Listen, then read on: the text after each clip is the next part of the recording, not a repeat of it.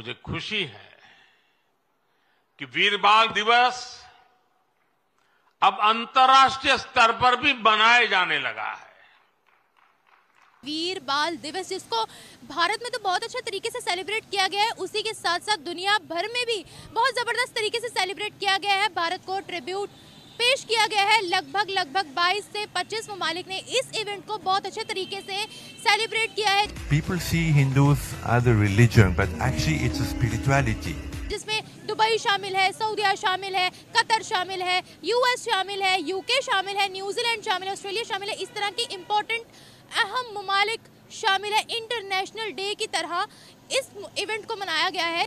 लेकिन मुगल सल्तनत के हुक्मरानों के घरों में कोई दीपक जलाने वाला नहीं है।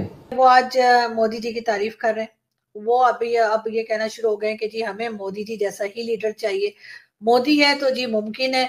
ये बात यहाँ पर भी कही जा रही है के पी के में कही जा रही है, पंजाब के कई इलाकों में कही जा रही है। सिंध में लोग कह रहे हैं, यानी कि मोदी जी ने अपने काम के ज़रिए, मोदी जी ने अपने काम के ज़रिए कई लोगों के दिलों में घर किया सुरा सो पहचानिए जो लड़ई दिन के हेत। पुरजा पुरजा कट मरे कभू ना छाड़े। दोस्तों, एसपी न्यूज़ 91 में आपका स्वागत है दोस्तों। दोस्तों, मैं आपको बता दूँ कि एक घोषणा हुई थी जिसमें 26 दिसंबर को वीर बाल दिवस के रूप में मनाने की घोषणा हुई थी। जिसमें कि जो गुरु गोविंद सिंह के सहित उनके चार बेटे शहीद हुए थे, उसमें, उसे 26 दिसंबर को वीर बाल दिवस के रूप में घोषित किया गया था। और इसी 26 दिसंबर को वीर बाल दिवस के रूप में दिल्ली के प्रगति मैदान में जो है, बहुत से महोत्सव आयोजित किए गए, जिसमें कि प्रधानमंत्री नरेंद्र मोदी जी भी शामिल हुए। और उन्होंने कहा कि ये जो हमारे इन वीरों की शहादत है, उनकी शहादत को देखते हुए हमें इस अपने आप में मतलब एक कॉन्फिडेंस आता है और एक सही बात है। इसके साथ साथ अमेरिका, ब्रिटेन, यूएई और ग्रीस समेत कई देशों ने साथ मिलकर ये वीर बाल दिवस मनाया।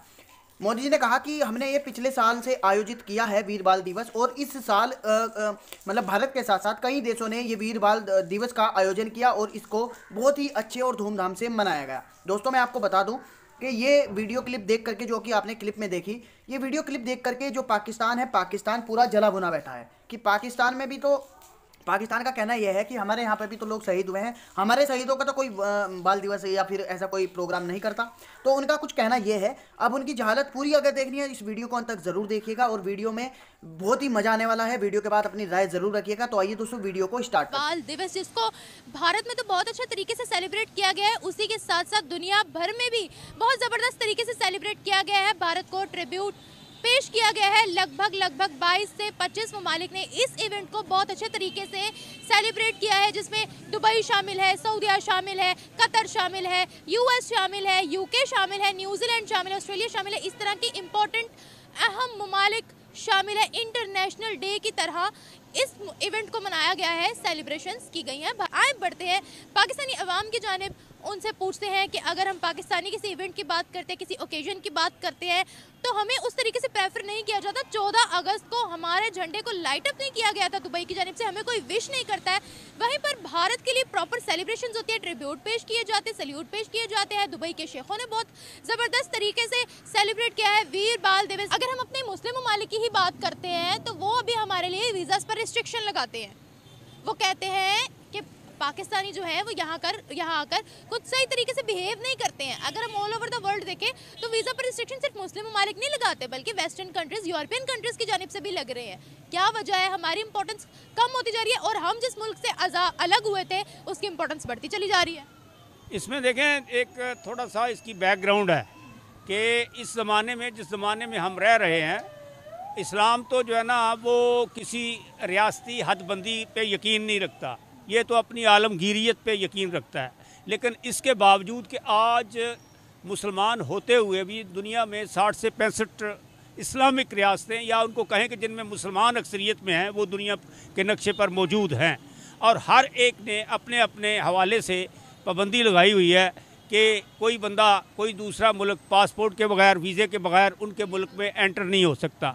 ये इस्लाम की जो अपनी स्पिरिट है उसमें तो आलमगीरियत है एक ही मुल्क है दुनिया में जो है ना सारे का सारा जहान जो है ना वो मुस्लिम का है इस्लाम का है। लेकिन जो मुसलमान जहाँ अक्सरियत पर हैं वहाँ पर भी ये पाबंदी है कि आप एंटर नहीं हो सकते। अब ये आप सॉरी मैं आपकी बात काट रही हूँ। सॉरी सॉरी मैं आपकी बात अपना हाँ, करें। आ, आप बोल रहे हैं ना कि वहाँ पर वीज़े की पाबंदी बिल्कुल है। आपको पता है कि मुस्लिम ममालिक ने वीज़ा फ्री एंट्री जो है वो भारतीयों के लिए की है। हमारे लिए तो वो करते ही नहीं है उनका। हाँ अब ये एक चीज़ और है जिसको आप पेश नज़र रखें कि इन ममालिक के लिए जो अपने आप को इस्लामी ममालिक कहलाते हैं उनके पेश नज़र अपने मुआशी मफादात हैं। पाकिस्तान एक गलत नैरेटिव बताता है, पाकिस्तान टीवी चैनल्स गलत खबर देते हैं। या एक बात को नेगेटिव लेके चलते हैं तो बिल्कुल इसी तरीके से मेरे जैसे और भी बहुत से लोग, चाहे वो यूट्यूब चलाते हो यूट्यूब ना चलाते हो मीडिया से हो मीडिया के बाहर हो, बल्कि आज मैं अगर आपको बताऊँ तो केपी के जो कि पाकिस्तान का एक प्रोविंस है और बहुत कहना चाहिए कि वहाँ पे बहुत ज़्यादा लोग आपको ऐसे नहीं मिलेंगे जो बहुत पढ़े लिखे हों या जिनको बहुत ज़्यादा नॉलेज हो। वो तक जो है, वो आज मोदी जी की तारीफ़ कर रहे हैं। वो अभी, अब ये कहना शुरू हो गए कि जी हमें मोदी जी जैसा ही लीडर चाहिए। मोदी है तो जी मुमकिन है। ये बात यहाँ पर भी कही जा रही है के पी के में कही जा रही है, पंजाब के कई इलाकों में कही जा रही है, सिंध में लोग कह रहे हैं, यानी कि मोदी जी ने अपने काम के ज़रिए, मोदी जी ने अपने काम के ज़रिए कई लोगों के दिलों में घर किया, मोदी जी ने अपने काम और अपने जो उनकी एक उन्होंने अपनी कंट्री को आगे लेके गए, उसको देखकर कई लोगों ने अपनी राय उनके बारे में बदली और लोगों को पता चला कि उनके बारे में कितनी गलत बातें जो थी वो पाकिस्तान में खासतौर पर फैलाई जाती थी और कही जाती थी कि नहीं, वो ऐसे हैं, वो वैसे हैं, लेकिन बाद में पता चला कि वो सारी बातें गलत थी।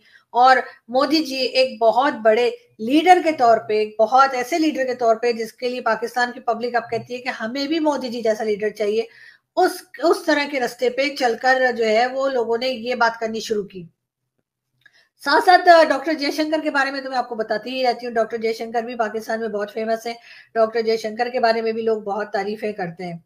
आ, हमारे एक दोस्त हैं जो यूट्यूब चैनल भी चलाते हैं। मेजर गौरव आर्या मेजर गौरव को भी एक जमाने में जब मैं आई थी इंडियन मीडिया पे तो मैं गले 2019 के एंड की बात है। और उस वक्त तो 2020 में तो मेजर गौरव के लिए बलोचिस्तान में पुतले तक जलाए जाते थे और कहा जाता था कि नहीं जी, ये ये जो है, ये पाकिस्तान का दुश्मन है, ये हमें पसंद नहीं है। और इस किस्म की बातें मेजर गौरव आर्या के बारे में की जाती थी, लेकिन आज अगर आप उसी बलोचिस्तान में चले जाएँ, आप उसी के पी के में चले जाएँ और आप सिंध में और दूसरी जगह पे पाकिस्तान में चले जाएँ छोटे से छोटा इलाका, अगर कहीं पे थोड़ा सा भी इंटरनेट चल रहा है, अगर कहीं पे थोड़ा सा भी लोगों को मोबाइल इंटरनेट मिल रहा है तो वो अगर किसी को देख रहे हैं तो वो मेजर गौरव आर्या की वीडियो देख रहे हैं। अगर वो कह रहे हैं तो वो ये बात कर रहे हैं कि मेजर साहब जो कह रहे हैं, बिल्कुल ठीक बात कह रहे हैं। और ये ये एक ताकत होती है आपकी, ये ये आपकी एक समझ होती है जिससे आप अपने काम के ज़रिए जो है वो आगे तक पहुँचते हैं, आप अपने काम के ज़रिए अपने आप को मनवाते हैं। और यही चीज़ मैंने खास तौर पे इन दो लोगों के बीच में देखी है। हालाँकि एक तो खैर आपके प्राइम मिनिस्टर हैं, जो कि बहुत बड़ी पोस्ट पर है, और दूसरे जो है, वो आपके एक रिटायर्ड फौजी हैं। और यकीनन उनका भी जो है स्टैंडर्ड है, या उनका भी जो पाकिस्तान में जो जिस तरीके से उनके लिए बात की जाती है, वो बहुत रिस्पेक्टफुली दोस्तों, आपको ये वीडियो कैसी लगी प्लीज़ कमेंट के माध्यम से ज़रूर बताएँ। अगर आपको वीडियो पसंद आया हो तो प्लीज़ इस वीडियो को लाइक और शेयर करना बिल्कुल ना भूलिएगा। साथ ही मैं आपको बता दूँ, यदि आप चैनल पर नए हैं तो प्लीज़ इस चैनल को सब्सक्राइब करके बेल आइकन को ऑल पर सेलेक्ट कर लीजिएगा ताकि भविष्य में हम जैसे ही कोई वीडियो अपलोड करें, उसका नोटिफिकेशन आप तक सबसे पहले पहुँचे। तो दोस्तों, वीडियो को अंत तक देखने के लिए धन्यवाद।